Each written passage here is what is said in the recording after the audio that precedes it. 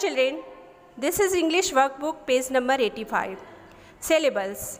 That means sabdans in Hindi. Children, syllable is a word or part of a word with only one vowel sound.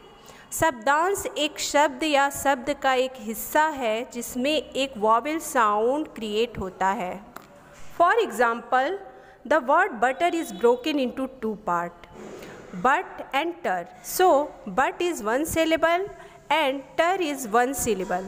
So, there are two syllables in butter. Same that forgetting is broken into three parts. So, the word forgetting has three syllables.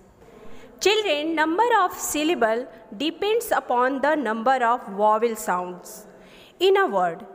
So, before knowing the vowel sound, let's revise what is vowels.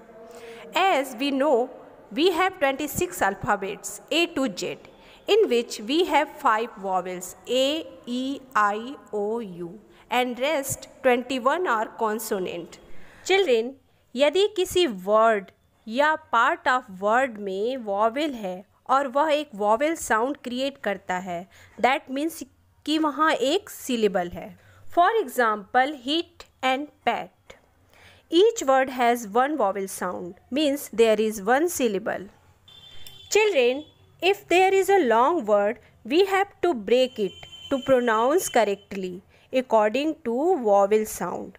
Here you have to split the word and write the number of syllables. Children, sometimes Y make a vowel sound.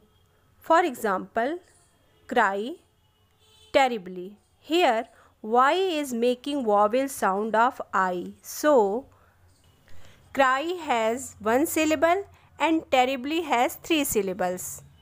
Now by this way split the words and write the number of syllables. Now see the next link. Thank you.